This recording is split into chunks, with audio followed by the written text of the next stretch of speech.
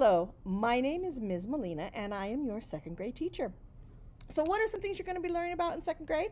You're going to be learning how to read the story by yourself so you can answer the questions.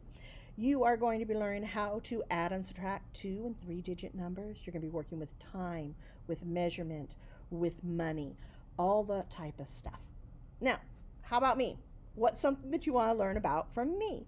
Well, I've been here at Centerra Mirage since the school opened, so I can tell you all sorts of things about it.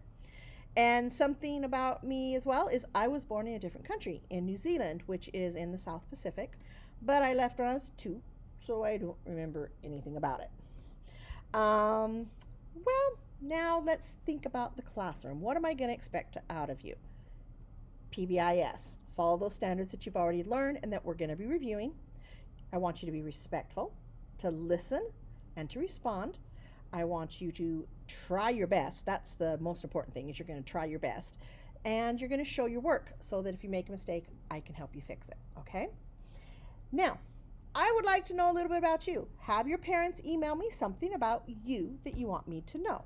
You can email me at tmolina at chooseaesd.org. You can also contact me here if you have any questions. All right, I'll see you in class.